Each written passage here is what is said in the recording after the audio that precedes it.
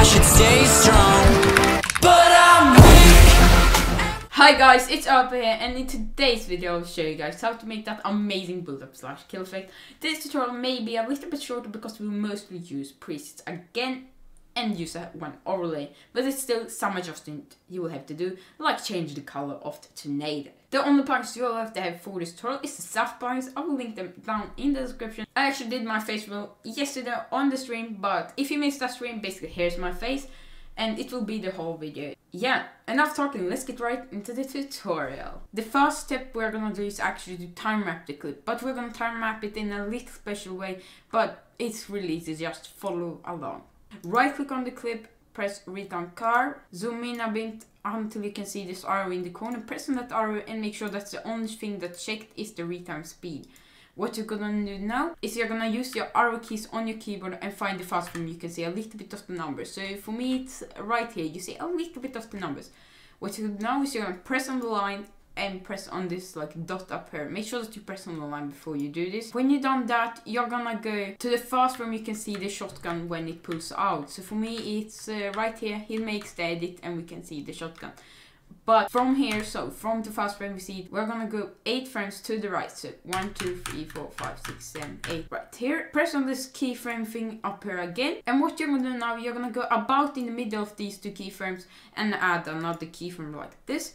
And what you're gonna now, this first part in between these two first keyframes, you're gonna drag down to 40% uh, about here. You don't need to be exact, but you see it's 40%. Just drag up to 300 so max, and it should look something like this.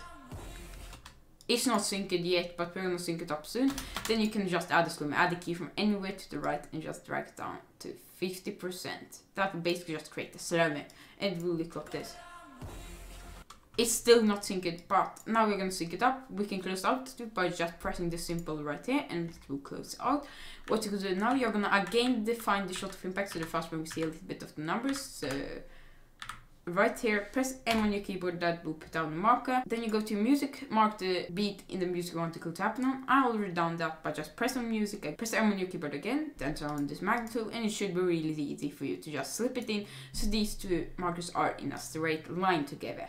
And now it should be synced and look like this. It looks pretty good in my opinion already, but what we're gonna do now, you're gonna go down to the description and in a Google Drive folder you should find a Bullet Look preset.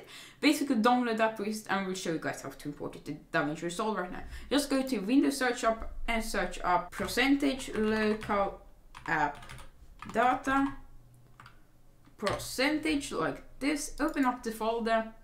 This should pop up, then you need to find Lux Builder right here. Press on Lux press on custom and basically just drag and drop it inside of here. Then you can basically close out of this and you don't even need to restart DaVinci Resolve. What you're gonna do now, you're gonna go to FX up here. And what you're gonna do now, you're gonna press on the clip, press Ctrl R so we can see where the slow-mo starts. So the slow-mo starts, the fast one we can see a little bit of these like yellow thingies. So basically the fast one we can see that.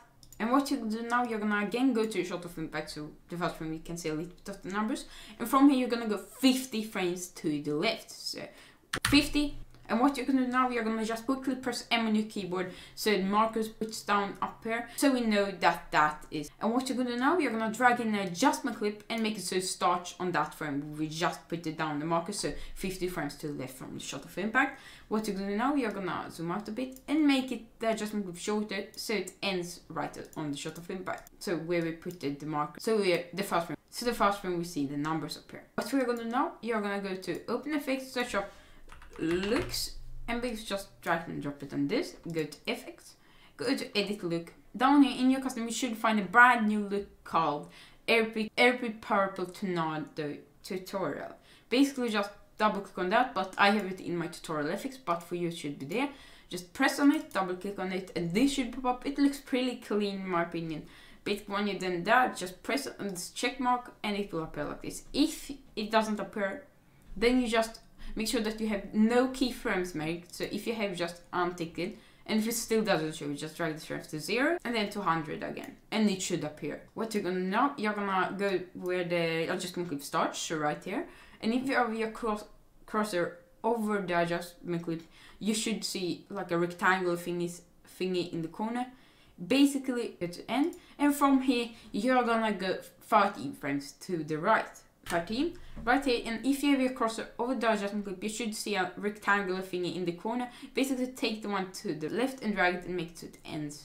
Your cursor to make it lag less just right click on the clip and make it cache color bit and it should look like this. It looks pretty clean in my opinion, but now we're gonna add the overlay real quick and it's really easy, I promise.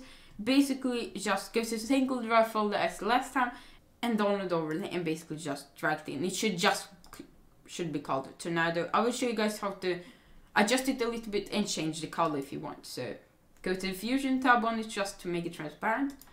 Press on median and press delta here. If it doesn't appear right the away right here, just do it many times and it should appear. Then you drag ref the reference and make it just black, press OK, and it should become transparent. We should be able to see it through. What we're going to do now, we are going to make it so it starts where the adjustment clip starts right there and ends on the shot of impact. So basically just drag it short and make it so it ends right there. What you're going to do now, you're going to basically adjust it real quick, the size a bit, and basically just make it so it is on the character. So some for this is just a tutorial, so you don't need to be exact, but this looks pretty cool. Maybe adjust the size but you can always adjust this later. But what you're gonna know, if you watch the adjustment, we see like a dark triangle like this. Basically what we're gonna do, you're gonna again press on the tornado overlay and you should see this rectangle field and make it just so it goes as long as this rectangle. So it's, you can't really see it, but it's a dark triangle here, as you see guys. And it will basically fade in pretty cool. It fades in a really cool way, I think. But now I'll show you guys real quick how to change the color on this the overlay if you want. You just go to OpenFX and search up S underscore tritone, drag and drop in that. It will turn black and white. Go to FX and basically the color one, adjust it to whatever you want. You can drag to the side and just play around.